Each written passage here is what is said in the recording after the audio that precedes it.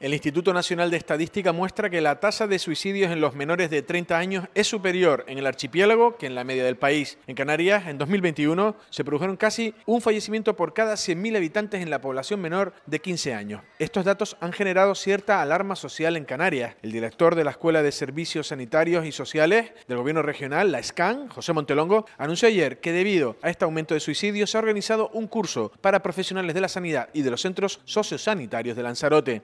Que formar a nuestros profesionales, a los que tienen que eh, recibir a estas personas que pueden tener algún tipo de problema mental, eh, es necesario que, se haga, ¿no? y por parte de la escuela. Eh, Recalcó que este curso ha despertado mucho interés. Viernes se cerraban las plazas de las, inscripciones en el Cabildo y el salón tiene un aforo de 360 personas, pues teníamos 360 personas inscritas.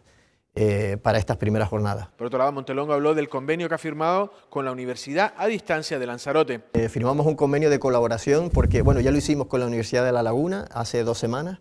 Eh, tenemos pendiente firmarlo con la Universidad de Las Palmas, posiblemente la próxima semana, pero teníamos entre medias pues el de la Universidad de, a distancia, de la UNED.